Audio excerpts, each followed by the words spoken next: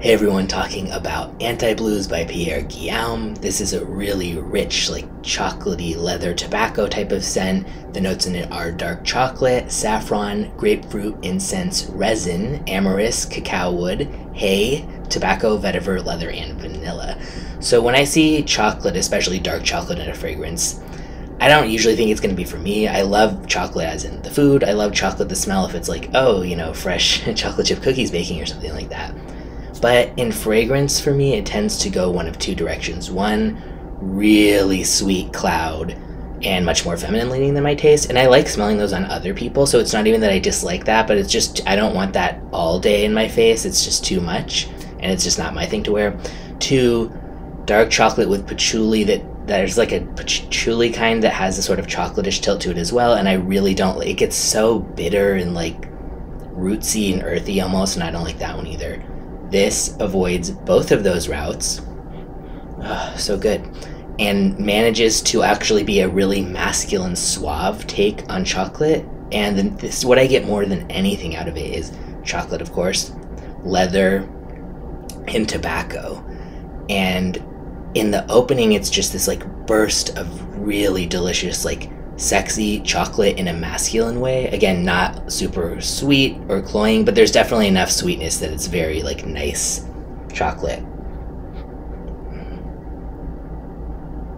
Yeah, just so pleasant. Um, and the grapefruit and stuff, I don't really noticeably pick that up, but there's like a slight freshness to it that lifts it, which is really nice. The saffron just kind of goes with the leather to me.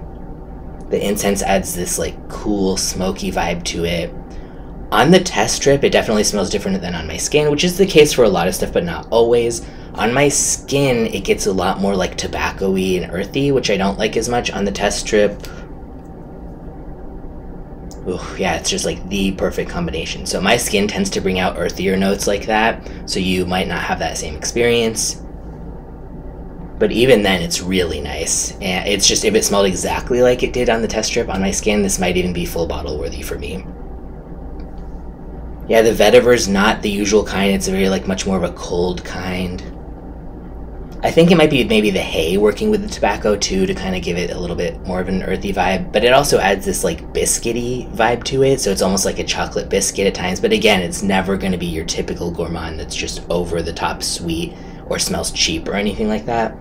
This is basically a gourmand for people who don't normally like gourmands or who are looking for a more masculine take that isn't just centered around like boozy notes or patchouli style chocolate. So good. It's somewhat linear, but not in a bad way at all to me. Uh, I would say maybe just like it's a little bit more of the vanilla y side of it as it dries down. But of course, the chocolate is always there and mixing with the leather and vetiver and just really suave and just nice. I'm, I'm impressed by this the best chocolate scent I've ever smelled thus far, in terms of what I like to wear at least, and in terms of it not going one of the two routes I mentioned earlier. I will put a link in the description where you can check out a bottle or a sample. I believe this is around 140 to 150 for a 50 ml. I think that's fair because this is just so rich and like wow. And this would definitely be more of a cold weather scent. This is not an everyday type of thing. This is like date night, nice event, something like that, where you want to be not nice event in terms of professional or anything like that, even in the cold, but more like sexy than that sort of. So, yeah, highly recommended if you like the idea of chocolate and leather and tobacco type of stuff. I don't even like tobacco normally, but here the way it's done is not like someone just unraveled a cigar or fresh picked a bunch of dirty tobacco and put it in front of you or something. It's just smooth all the way. So, yeah, check it out.